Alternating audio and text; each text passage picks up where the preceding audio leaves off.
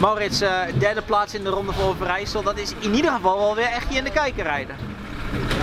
Ja, ja zeker. Kijk, uh, ja, je moet er wel zitten in, in die kopgroep. En, ja, ja, ja de, kijk, de tv is erbij, dus veel mensen hebben het wel gezien. Ja, die derde plaats, wat zegt jou dat? Want uiteindelijk, ja, je wilt hier natuurlijk winnen.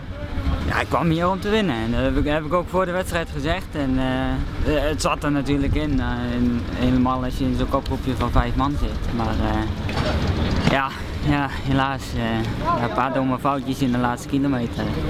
Ja, dat kost bij de zegen. Hoe heb jij die finale beleefd? Want ik bedoel, het gebeurde pas laat dat jullie wegreden uiteindelijk met z'n vijf. Uh, ja, ik, uh, ik denk op een kilometer of 15. Ja. Ik, uh, iets later misschien. En, je zag het peloton nog wel aankomen. Maar ja, we wisten gewoon, we moeten vol door. En, anders, ja, Koga reed op kop. En die, ja, die winnen dan dat sprintje met, met Stoetinga. Maar ja, we reden eigenlijk alleen maar weg van, van het peloton. En ja, dan, dan weet je dat het er wel in zit. Ja, die finale, je zegt, uh, je kwam wat eigenlijk, of er ging, ging iets mis. Voor jouw gevoel, wat ging er dan mis?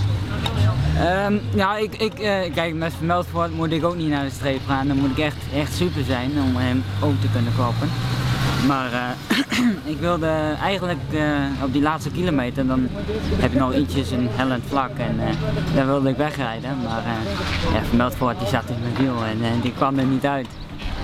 Dus uh, ja, dan, dan, moet je gokken op die sprint. En uh, toen Charles Rozen ging aan op 300 meter en toen zag ik Vermeldvoort meteen meegaan. En ik denk, ja shit, nu moet ik ook. Maar daar had ik dus niet geen rekening gehouden met, uh, met die Belg.